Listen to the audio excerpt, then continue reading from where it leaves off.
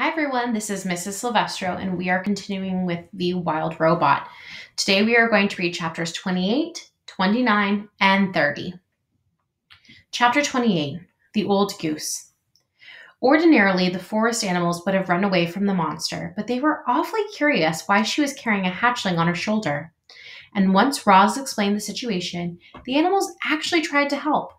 A frog pointed Roz up to the squirrels. A squirrel recommended that she speak with the magpies, and then a magpie sent them over to the beaver pond. The ground grew soggier, the grass grew taller, and soon the robot and the goslings were look, look, looking across a wide, murky pond. Dragonflies buzzed through the reeds. Turtles sunned themselves on a log. Schools of small fish gathered in the shadows, and there, floating in the center of the pond, was an old gray goose. A very good morning to you, the robot's friendly voice boomed over the water. I have an adorable little gosling with me. The goose just stared. I am in great need of your assistance, said Roz. Actually, the gosling is in need of your assistance. The goose didn't move.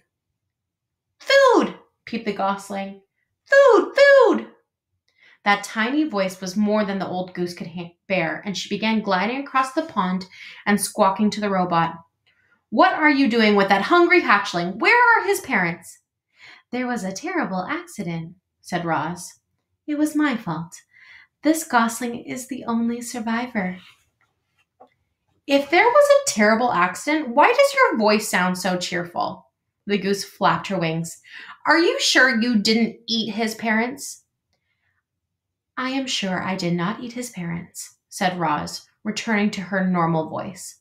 I do not eat anything, including parents. The goose squinted at the robot. Then she said, Do you know who his parents were? I do not know. Well, they must have belonged to one of the other flocks on the island because nobody in my flock is missing. Will you take the gosling? I most certainly will not, squawked the goose. I can't take in every orphan I see. You say this is your fault? It seems to me that it's up for to you to make things right. Mama, Mama, peeped the gosling. I have tried to tell him that I am not his mother, said the robot, but he does not understand. Well, you'll have to act like his mother if you want him to survive. There was that word again. Act.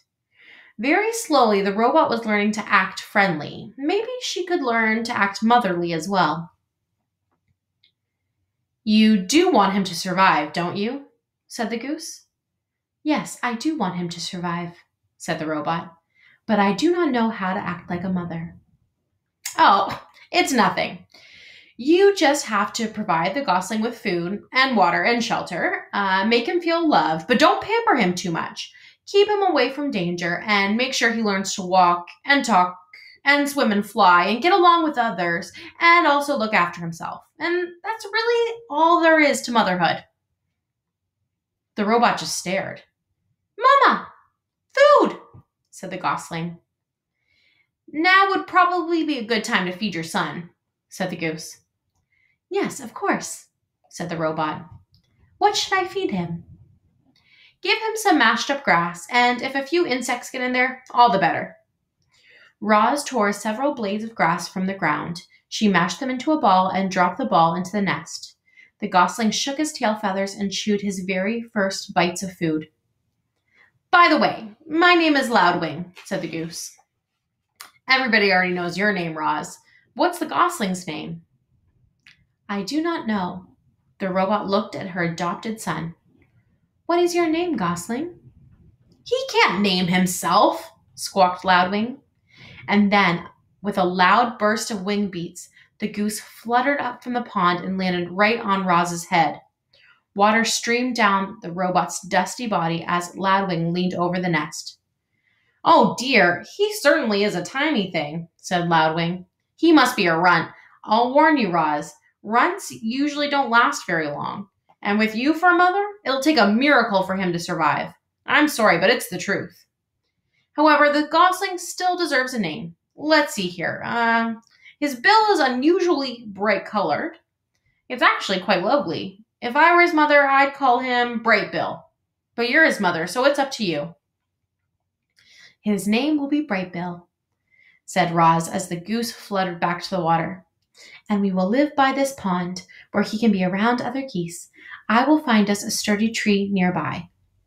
You will do no such thing, the goose flapped her wings. A tree is no place for a gosling. Brightbill needs to live on the ground, like a normal goose. Loudwing sized up the robot. I suppose you two will need a rather large home. You better speak with Mr. Beaver. He can build anything. He's a little gruff at times, but if you're extra friendly, I'm sure he'll help you out. And if he gives you any trouble, remind him that he owes me a favor. Chapter 29 The Beavers Every day, the beavers swam along their dam, inspecting and repairing it. The wall of wood and mud allowed only a trickle of water to pass through, and it had turned a narrow stream into a wide pond that many animals now called home. As Roz and Brightbill walked around the pond, they passed hundreds of chewed up tree stumps, proof that the beavers needed a constant supply of wood. And this gave Roz an idea. The robot swung her flattened hand, and the sounds of chopping wood echoed across the water.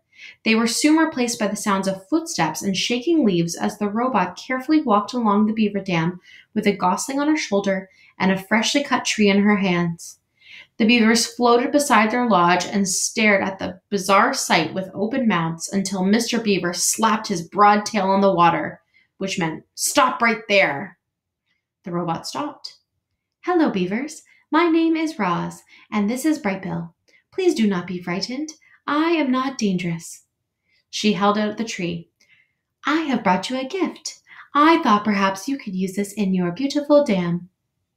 No thanks, said Mr. Beaver. I have a strict policy never to accept gifts from monsters. Don't be ridiculous, interrupted Mrs. Beaver. We can't let a perfectly good birch go to waste. I'm afraid I must insist, said Mr. Beaver. Mrs. Beaver turned to her husband. Remember how you asked me to point out when you're being stubborn and rude? Well, you're being stubborn and rude. Then she turned back to Roz. Thank you, monster. If you'd be so kind as to drop the tree in the water, we'll take it from there. I am not a monster. Roz tossed the tree like a twig. I am a robot. The tree smacked against the water and sent the beavers bobbing up and down. Just then, Brightbill started peeping. Mama, hungry. So Roz dropped a ball of grass into the nest. The gosling thinks you're his mother? came a quiet voice. It was Paddler, Mr. and Mrs. Beaver's son. His real mother is dead, said Roz, so I have adopted him. There was a brief silence. Then Paddler looked up to Roz and said, You're a very good robot to take care of Brightbill. Mr. Beaver sighed. Yes, yes, that's very good of you, Roz, but I don't understand what any of this has to do with us. My son and I need a home, and Loudwing said you would help us build one. Of course she did, Mr. Beaver muttered to himself. Loudwing gets me out of one lousy jam, and I spend the rest of my days doing her favors. Mrs. Beaver glared at her husband. Sorry, he said, realizing he was being stubborn and rude again. Stay right there, Roz. We need to have a family meeting. The three beavers slipped under the water, and a moment later, their muffled voices could be heard inside the lodge. The robot stood on the dam and patiently waited with her son. Mama! Mama! Yes, Brightbill, I am trying to act like a good mother. A ripple and a beaver's head appeared above the water. If you bring us four more trees, good, healthy ones, Maybe I'll have time to help you and the gosling. That would be wonderful, said the robot. We will be right back. Chapter 30 The Nest. I've built my fair share of lodges over the years. Mr. Beaver stood at the water's edge. But I can't say I've ever built one for a robot and a gosling. So, just what exactly do you need? We need a lodge big enough for both of us, said Roz. It should be comfortable and safe, and it should be near the pond. How long do you plan on living in this lodge? I do not know. Then we better make it strong and sturdy. Mr. Beaver stroked his whiskers as he thought. Do you plan on having friends over? The missus loves to entertain guests. I do not have any friends. No friends? Well, you seem pretty likable for a monster. I mean, I mean robot. But if you want my advice, you should grow yourself a garden. Your neighbors won't be able to resist fresh herbs and berries and flowers. Just you wait and see. So, we'll make sure there's a place for a garden and we'll give your lodge some extra space for all the friends we'll be hosting. The beaver winked. We also need to find a way to keep your lodge comfortable when it's cold outside. Our lodge is heated by our own bodies, but I think we'll have to find another way to heat yours. The beaver and the robot thought about heat for a while. The first thing that came to Roz's mind was the sun, but then she remembered the hot sparks she had felt while sliding down the mountain peak. I could heat our lodge with fire, she said. Mr. Beaver blinked his eyes. I will need to experiment, Roz continued, but I think there is a way. You go right ahead, Roz, said the beaver, but would you try not to burn down the entire forest? Do not worry, I will be careful. Let's move on, Mr. Beaver sighed. The next order of business is to find a site for your lodge. That meadow across the water would be perfect, but the hares will have a fit if we try to build there. I think we should clear out some of the trees and build right in the forest. And I know just the place. The beaver took them along the water and up to a dense section of forest that jutted into the pond. It needs some work, said Mr. Beaver, trudging through the thick weeds, but this ought to do the job. Yes, this ought to do the job, said Roz in her friendliest voice. Job, said Brightbill. Mr. Beaver was incredibly skilled at taking down trees, but even he couldn't keep up with Roz's powerful chopping hands. So he let the robot do the hard work. He pointed out the trees and shrubs that needed to go, and Roz started hacking away. By sunset, they were standing in a newly cleared site, and they had more than enough wood to build the lodge. You did some fine work here today, Roz, Mr. Beaver yawned. I'll return to the morning and we'll pick up right where we left off. What would you like me to do? asked the robot. Tonight? So you can still feel like working, do you? Very good. Well, you can start by digging out those tree stumps and you can collect all those large flat stones over there.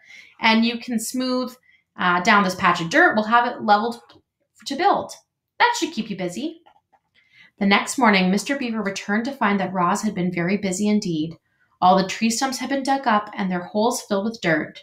Twenty large stones had been stacked and the ground was now perfectly level. But what most astonished Mr. Beaver was that Roz and Brightbill were huddled along a small, crackling campfire. Mr. Beaver moved his lips, but no words came out. Brightbill was cold last night, said Roz, so I taught myself how to make a fire. But, but, but how? I discovered that when I strike these two stones together, they create sparks, like this. I directed the sparks onto the dry leaves and the wood until they ignited.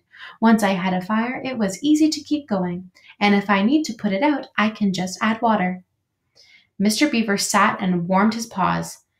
I've never seen a fire in such a neat little bundle. He stared into the flames. I've only seen a blazing through the forest, burning everything in its path, but this is marvelous. He took another minute to enjoy the warmth. Then he and the robot got back to work. Mr. Beaver asked Roz to dig a trench here, to place large stones there, to arrange logs this way, to smear mud that way. Birds and squirrels perched in the trees and watched the new lodge take shape. It resembled the beaver lodge, but it was larger, a great dome of wood and mud and leaves. A simple opening in the wall served as the entrance, and the doors were nothing more than a heavy stone that the robot could slide out of the way. We're going to pause there, class, uh, and we'll finish up this chapter uh, tomorrow.